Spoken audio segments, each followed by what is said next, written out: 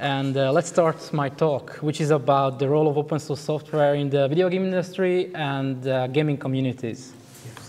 So for introduction, I am uh, Daniel Houruck Molnar, just call me Houruck, and uh, I'm a member of the Hackerspace Budapest. And uh, I, I, did a LAN party series called Lakatlan, which is a Hungarian word, uh, word play, meaning padlock LAN. Um, it also has a meaning that implies that the first hackerspace was located in a ruin pub because it also means uninhabited. Those are the flyers for the first LAN party we had.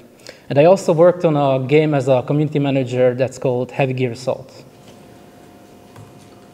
Uh, for disclaimer, I'm not a lawyer, and uh, all copyrights belong to their respective owners. So what's the scope of this talk? This is by no means a complete list of open source games, engines, tools, and such. And it's uh, not even exclusive about uh, GNU Linux gaming. It's meant to categorize video game related software and content based on the availability of the source code and uh, assets. And of course, to describe how this affects the industry and the community built around such games. And by the way, today is uh, Video Games Day, which is an arbitrary holiday, but this is a good excuse to talk about video games here. so what are video games? Not all of you are gamers, but uh, I'm pretty sure you already heard about them.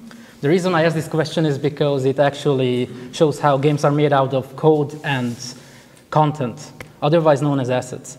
This can be text, audio, 2D art, 3D art, and so on. So making games is actually a multidisciplinary uh, art form because it requires 2D, 3D artists, musicians, sound designers, game designers, level designers, all sorts of designers, backend engineers, and so on. More often than not, coders don't have the artistic flair to make such games at, uh, well, let's just say pretty or uh, aesthetic. So this is what we call program art in both uh, video games and, and the demo scene this is uh, this in this episode yeah applies to the demo scene. I just said that. and of course, uh, there can be many uh, talented and hardworking woman army indie groups out there and indie companies out there. But usually, even small teams are composed of people with different backgrounds. We'll talk about this later. Okay, this differentiation of, oh, sorry, go back. One more thing. Uh, the important part I wanted to talk about here is that this differentiation of code and content will be important later during the talk. So what is open source? I don't want to read this part. You are already probably familiar with it. Uh, I just want to add that open source doesn't just mean uh, access to the source code. Uh, the distribution terms of open source software must also comply with the following criteria. And something I will talk about here later is the third one, derived works. Also, here's another definition for free software by the Free Software Foundation. And Freedom 1 and 3 require source code to be available because uh, studying and modifying software without source code is highly impractical.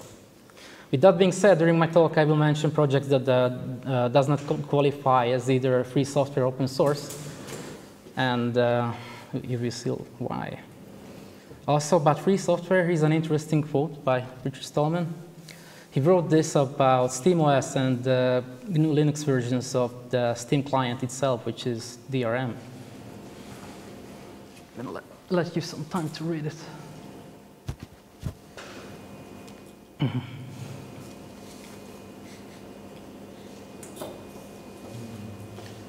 So, license legends. I'm gonna use these color-coded acronyms to indicate if something's license complies with either the OSI or FSF standards.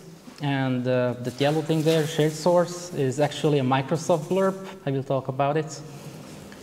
And uh, since I will only talk about software that had its source code shared in a way or another, uh, PS means the license does not grant you freedom to make it your own, but the source code is somehow accessible. Same thing about content. OC means the license is recognized by OSI and FSF. There's another category there uh, for Creative Commons, even though the uh, latest uh, attribute share like 4.0 uh, is accepted by FSF. but there are other licenses out there for content, which is not recognized by either of these groups. And there are other retired licenses like the Sampling Plus and so on. Uh, yeah, abandonware content, it's, it's, it's gray, but it's actually not a legal term.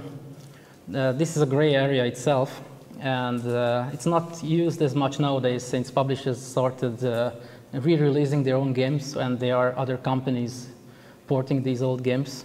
So you can actually buy them on GOG or another website. And of course, PC means fuck you. So uh, about the industry. Oh, sorry. Let me fix this.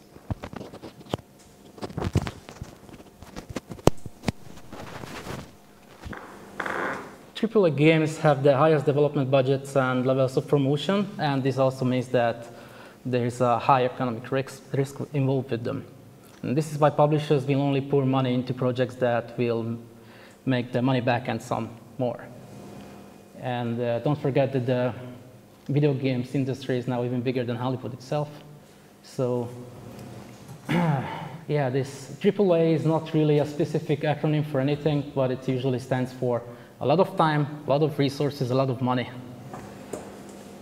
and uh, credits of a triple game usually consists of hundreds of names of people because uh, they can afford celebrity voice actors and oh yeah, I actually wanted to mention here that uh, the Voice Actors Guild actually started a strike recently, so and so on. So mocap stunt actors and, and, stuff like that. So that's why uh, you see a long credits list like in a movie. Indie is another story. Uh, indie is a short form for independent. There's no widely accepted uh, definition for indie, but it usually means that uh, they are published outside and produced outside of mainstream means, and they often make these games without the financial aid of a publisher. And uh, because of this, they can focus on innovation they can get away with stuff. And uh, they also heavily rely on digital distribution. And since this is uh, synonymous with PC gaming here nowadays, uh, if you're not on Steam, that means your game doesn't exist. But there are, of course, other digital distribution platforms out there for indies like itch.io, Desura, and so on. And of course, big publishers can afford their own. But let's not talk about them anymore. So these games are usually smaller in scope. They can still be narrative driven or have pure gameplay, gameplay focus, but they're usually free to experiment. And uh, experienced in the, we experienced recently in the Renaissance, know that the entry level has been lower, lowered with the digital distribution and out-of-the-box game engines and stuff like that. It's easier to make video games than ever. But uh, lately, people talk about actually an indie apocalypse, meaning that the market is oversaturated with shovelware. I don't know if you've seen the Steam charts. Uh, I think it was like 80% of games on Steam was released last year. So. Nice. Okay, let's talk about the community. And uh, what uh, I, by community, I actually mean the fan base of uh, games and their subgroups working on modifications or mods for short, or of course hobbyists, hobbyist game developers. So on the list we have the modders. They usually work with an already existing game, even if it supports modding or not, they don't care. They make their own changes to those games. And of course we have ROM hackers here, who are exclusively uh, working with uh, uh, usually cartridges and games that was never designed to be written and uh, I have to mention the homebrew community. they are targeting uh, proprietary hardware, just like uh, ROM hackers, but they are making their own games from the ground up. And similar is uh, the, fan game community. They are not modifying an existing game, but they are basically hobbyist developers. And I wanted to mention the Japanese dojin game scene here because they're a little bit unique, mostly because of the language barrier and also because they usually work with genres that are not really popular outside of Japan. All right, let's talk about engines and frameworks, and I'm starting with these big ones, even though, even though, as you can see, they are not open source at all. I wanted to do this because there is a misconception that these engines are somehow open source because you can access the source code for both of them. For example, the Amazon Lumberyard, which is uh, derived from the CryEngine, explicitly says in the license that we make the source code available to enable you to fully customize your game, but your rights are limited by the Lumberyard service terms. And of course, I won't quote that here. And I wanted to talk about the Unreal Engine because it, that's a wide, really popular engine used by both AAA companies and indies alike. and uh, this is also an engine where you have access to the source code, but the, yeah, I actually wanted to mention Unreal Tournament 4 here, which is a project based on this engine, because uh, it has an interesting uh, development cycle. Content is uh, partially community created, and the source code is for the game itself is also available, but non-free. Uh, yeah, UT3, I don't know if you guys remember, it was a weak excuse for a video game. It was basically just um, tech demo to showcase the engine because Epic nowadays just sells engines. They're not really working on video games anymore. And uh, they somehow wanted to involve the community in this new game they're working on. That basically means uh, free labor for them. So the game source code is available on GitHub, but you have to link your Epic and GitHub accounts to get access to it. And uh, they, um, but they actually take feedback and assets from the fans, so they implement those into games as well. It's a slow but steady and surprisingly open development process. This is why I wanted to mention it here. All right. Now, these ones are open source. As you can see, it has both the OS and FS flag next to it, meaning that the, the license uh, complies with both the OSI and FSF standards. and I have to mention Blender here because it's the most well-known bloatware with a game engine component. It has a video editor, a, a 3D modeler, can be used for rigging, particle simulation, does everything. And uh, notable games, uh, game using this engine would be Sintel, which is uh, based on the movie with the same title that was made by the Blender Foundation. Also, another thing I want to talk about it here is Monogame Framework, the second one, because it's a Microsoft, uh, it's made by Microsoft. It's actually licensed under Microsoft Public License, which is approved by both uh, OSI and FSF. It's an open source implementation of the Microsoft XNA4 framework. And many, many notable indie titles use it, such as Axiom Verge, Bastion, Fast, Transistor, Stardew Valley, so it's out there. And uh, I also selected some other engines and wrote down some games that are using it, but I don't want to go and read all of it because it's uh, quite, it's quite a long list. But uh, I might want to talk about, for example, Godot, which is also uh, open source but community developed 2D and 3D cross-platform engine. And there are some other engines that, that uh, and those were made specifically for a game at first, but now they are used for other stuff as well. For example, the Spring engine, that's an engine for RTS game, games, and uh, originally was meant as a spiritual successor for Total Annihilation. And uh, another RTS engine is Pyrogenesis on this list. And I, I actually wrote some other funnier ones like Stepmania, which is a cross-platform rhythm video game engine. And of course, there are some FPS engines here designed uh, as open source from scratch, like Cube 2. All right, uh, let's talk about APIs and libraries. And let me start with uh, OpenGL and its follow-on Vulkan, because if you ever played a 3D game in the 90s, uh, there's a good chance that you played with something that had OpenGL running underneath the hood, and because it was the standard back then.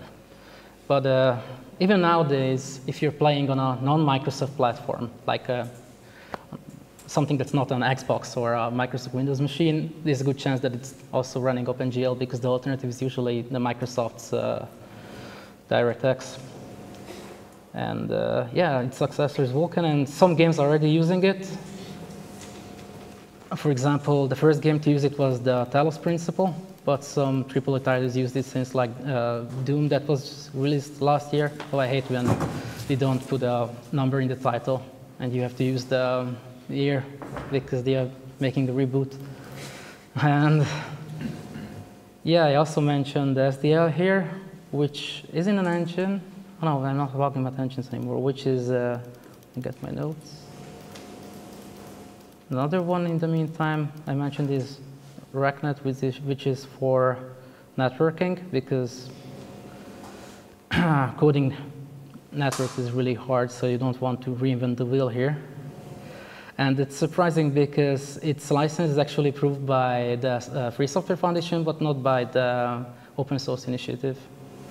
Talking about SDL, it's a simple direct media layer. It's cross-platform, and um, a bunch of games use it, like OpenTTD, Xonotic, which is an FPS, Open Red Alert, which I will talk about later. Even some commercial titles, a bunch of them, like FTL, Dying Light, and so on, even AAA ones. And of course, engines are using SDL as well, like the CryEngine, the Source Engine, the, the Linux port and Mac port, not the Windows one. And even emulators like DOSBox and ZSNES. So about tools and uh, open formats. Some of these tools are made specifically for game development, uh, usually by the indie scene, and they involve their community as well in development. Such example is the Twine there, which, is, which was made for branching narrative design.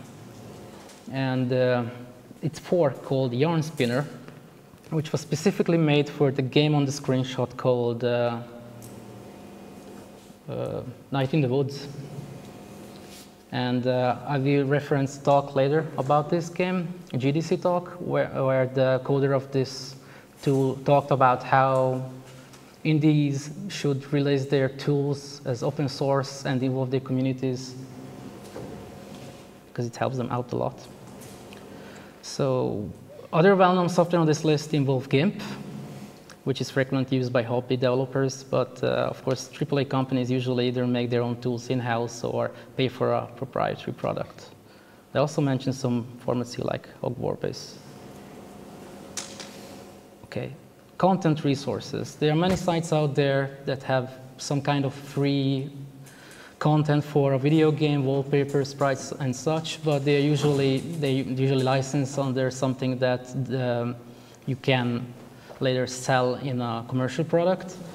This is why I want to mention uh, here because this is a quite interesting site and the only one I found so far that actually pays attention to only publish arts and other assets under GPL, public domain, or CC licenses that are approved by Free Software Foundation and the Open, open Source Initiative.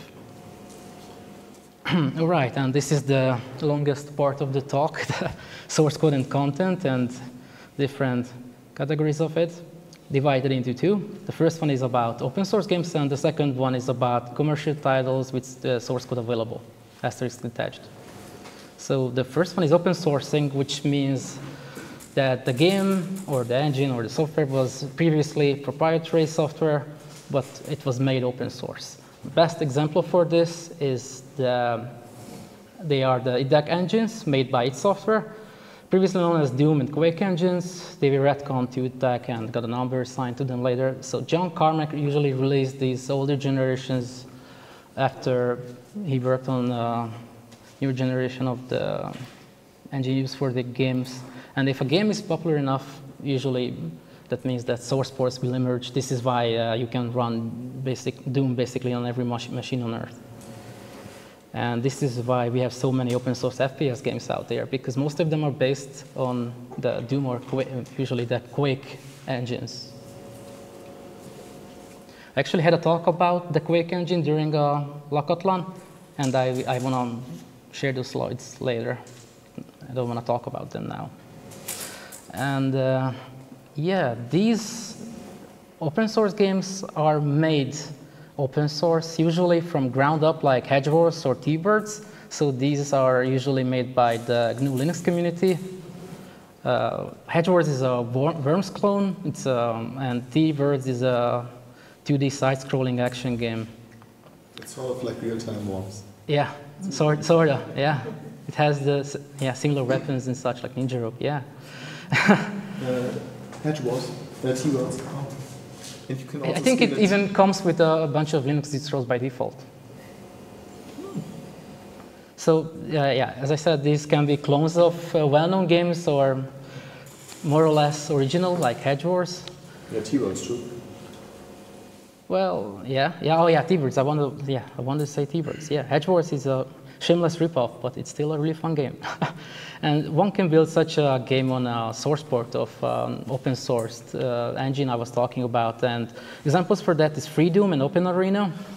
And those are actually basically just Doom and Quake 3 Arena, but since those games share their source code as open source, but not their art assets, that means that you can compile your own version, whatever, but you have to replace the uh, assets inside them, or you have to own a legitimate copy of the original game. And this is why there are projects like Freedoom, basically, which uh, provides you a, a, a, WAD file. And the modern source ports of Doom, like uh, GZ Doom and other source ports, can read that file, and you have um, Doom replacement. The same for uh, Open Arena. Uh, these kind of games are yeah, all of them were made open source, but they differ a little bit. Uh, the content is not, not free usually here. Uh, only reason OpenTDL is all green here because I used green as well for CC, but it's using a license that's not compatible with, it's not approved by FSF and OSI. So Frets on Fire is, um, it's a music game, it's a Guitar Hero clone. There's even a picture there uh, where we are playing that very game uh, at uh, Lakatlan in Hackerspace Budapest. And uh, the reason it has uh, proprietary content because it's using uh, proprietary music in it. But the source code is, is, is open source. Uh, another example here is Urban Terror, which is an FPS game. It's somewhat similar to Counter-Strike, and it was originally developed as a Quake 3 mod. But since the Quake 3 engine is open source, it can be a standalone game now. The interesting part is that it's based on an open source engine, but the game code and the art assets are still uh, uh, on the, the, proprietary license. So they distribute the game code itself as binaries, and you're not allowed to touch them. And uh, the, another picture here is Planeshift, which is an MMORPG. I was looking for open source MMORPG, and actually I only found just a couple of them. Um, and I'm not this surprised because Open MMORPG is a huge project, but this one is actually, this one was built as a GPL open source project from the ground up, but they have a dual licensing because they have another license for their content as well. And uh, these are open source remakes with non-free content. They're usually remakes of uh, well-known other commercial titles. Uh, for example, OpenXCOM is a new engine that can run the original XCOM game. But of course, if you don't, have, don't own a copy of XCOM, it has some placeholder assets, so you can still play with it, but it expects you to own a copy of XCOM and copy the files into its folder. And from that point on, it can be used as a modern uh, source port of XCOM with new added features.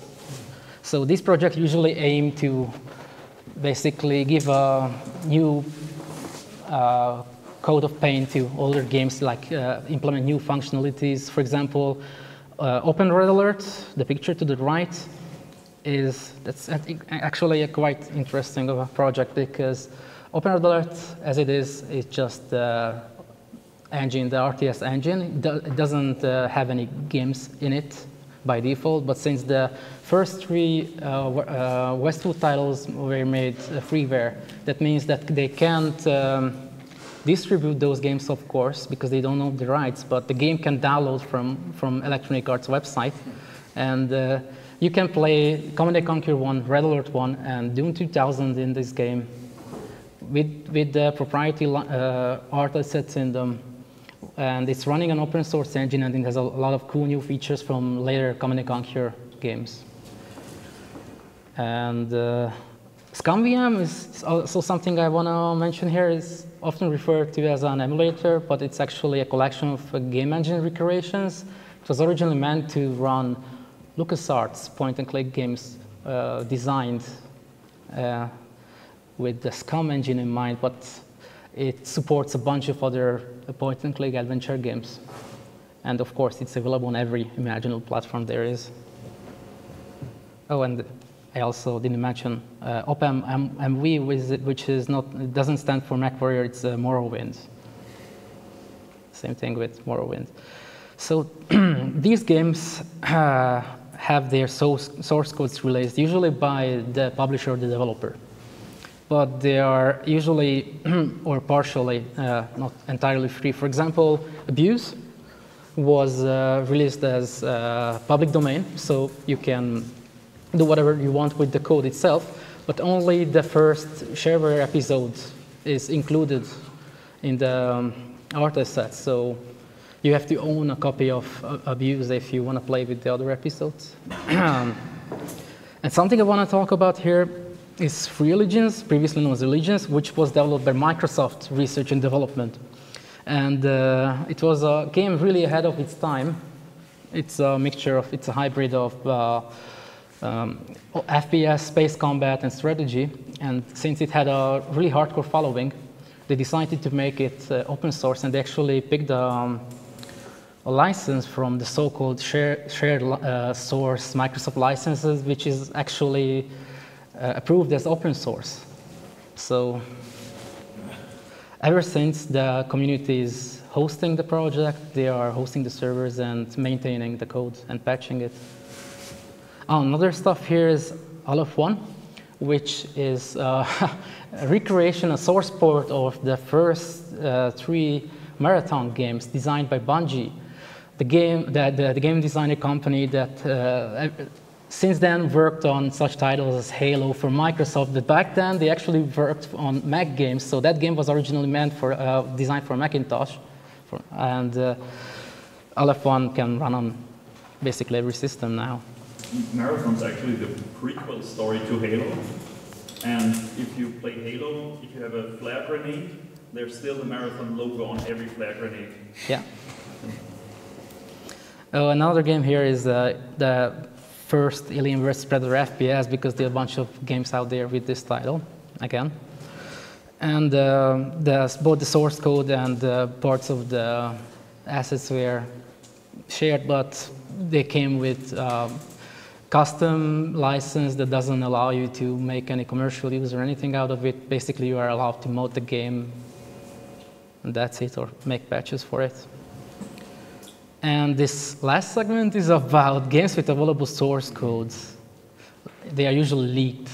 For example, the Ultimate Mortal Kombat 3, the, the PlayStation version, its source code was found on floppy disks. So nobody really knows how it got there. And uh, another example is Turok the Dinosaur Hunter, the Nintendo 64 version. Uh, interestingly enough, they purchased the source code uh, of eBay with a development kit, which had the source code on it. so it's out there somewhere. and the Trespasser, which is another dinosaur-themed game, it got, our, uh, got the source code uh, leaked somehow, and the community actually still makes patches for it. And uh, I wanted to mention Wing Commander series here.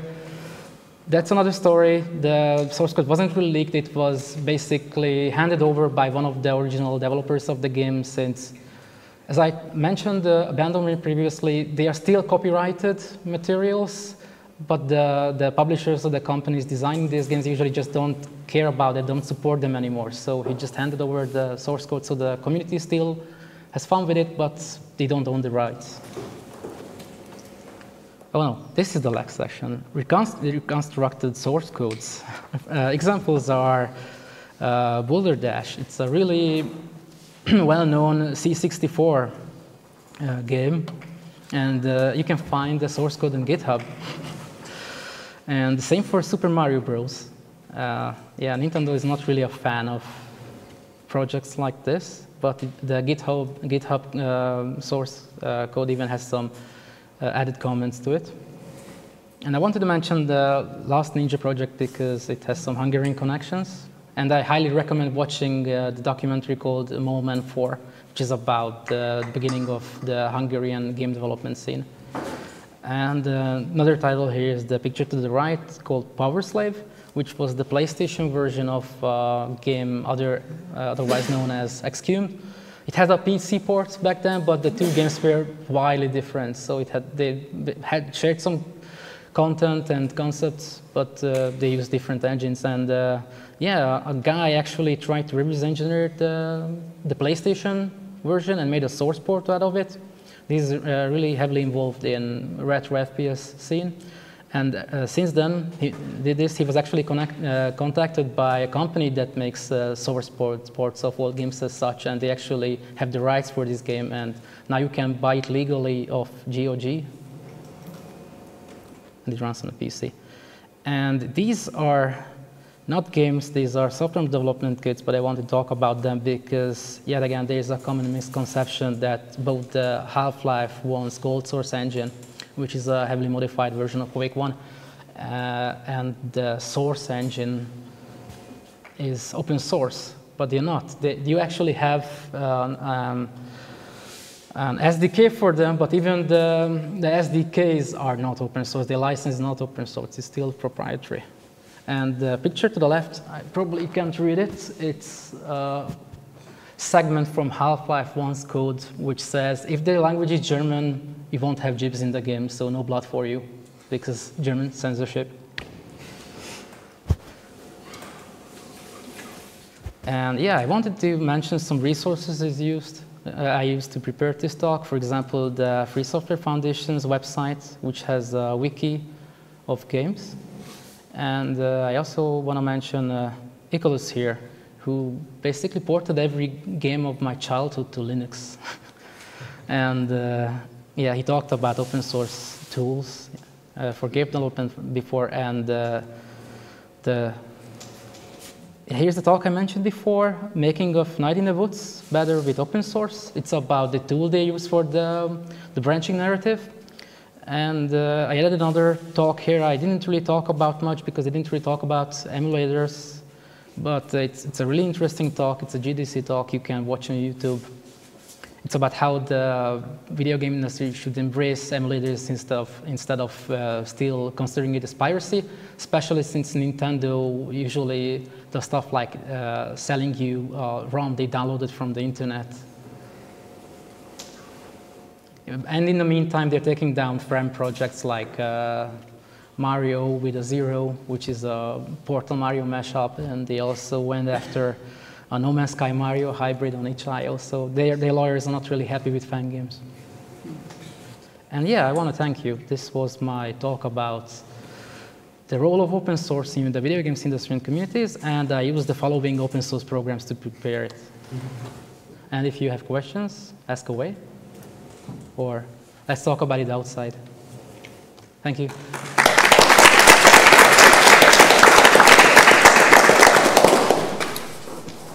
I have a question regarding uh, reconstructed games. Yeah. Uh, there's recently been an initiative for to reconstruct the uh, game called Roller Coaster Tycoon 2, Mm-hmm. and uh, they do it. Which was made mostly in assembly, as far as I know. Uh, two was not. No, this was the first one. This is, I think it's C++, but the first one was assembly. So they are reconstructing the code one by one by function by function, really. Yeah.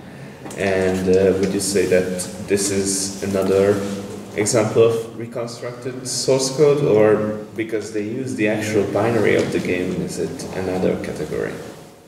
I, I would still list it here because these games are just the same. They usually had access to the ROM or the binary, and they, did, they didn't have access to the source code. So they didn't reinvent the original. They didn't have access to the source code somehow, and they didn't just make a, a replacement of that. They had to reverse engineer these usually. For example, the Power Slave was reverse engineered just as the project you were talking about.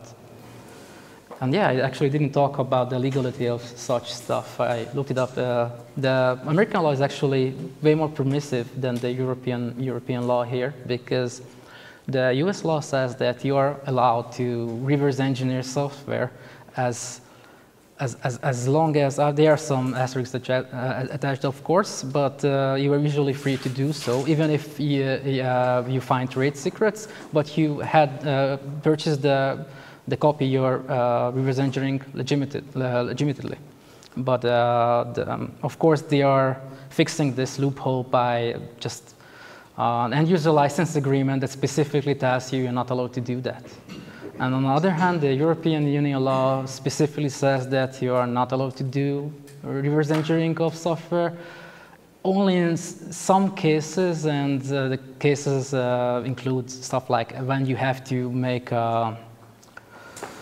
when you have to work on another software that has to be compatible with the software you're reverse engineering. But I, I looked into the law; it doesn't really specify who has to own the software you're making, and it's it's a bit fuzzy about the details here. So. Also, I've heard that in some cases you can uh, use the defense that you are doing it for accessibility because there are many laws which are pretty strong about yeah. accessibility, especially in the US.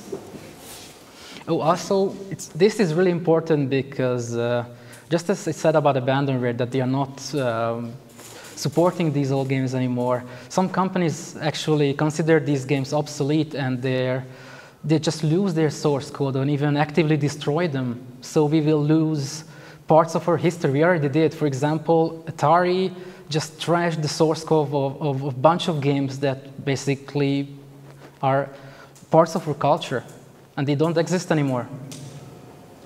So I think it's something we have to do ourselves to preserve these video games for the future. It's quite similar to the way they taped over the original moon landing recording. yeah, allegedly taped. They featured fake original. And after the episodes. Other questions? Where can I download all this cool stuff and all the game files and everything? Oh yeah, I, I didn't mention those sources in this in, in, in my slide at the end but I want to share these links with you guys. Probably it's going to probably be listed under the YouTube video, or I can make a list and send it to you. Because uh, yeah, about yeah, I also want to mention the source of the pictures I use here because I didn't source them either. I usually went to the website of the project itself or looked it up on GOG or Steam and stuff like that. But uh, source code is just the same. It's usually on GitHub or some other accessible place. So you can do a search for it yourself, but of course I'm going to link them.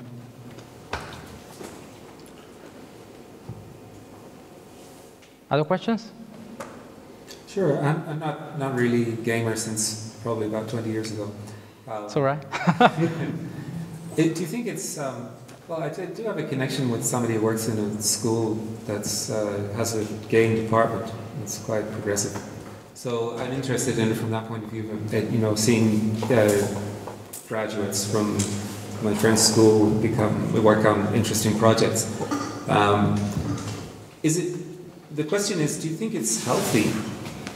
I I'm not in terms of open source tools for development. I mean, it's quite okay that the AAA companies develop their own machines and do what they're going to do to make their game, right? Right. But it seems to me that you listed an awful lot of uh, open source tools. Yeah. at the moment. Um, so the, is it is it is it a healthy environment at the moment? Like, is there there's sufficient scope for people to develop? Um, I would say yes. Especially since a bunch of commercial titles, especially on mobile platforms, are based usually on such open source frameworks and engines. So even some platforms um, like mobiles and such, uh, even if they are commercial, are based on projects as such. And of course, they're, the companies working on these games usually commit back to the project they base the games on. Any cases of abuse that are known of, like similar type of sort of uh, uh, free software license um, violations or going on in the in the games industry? Well, I won't say yeah, I haven't really looked into this. I'm pretty sure it happened before, but I don't have an example for it. Okay.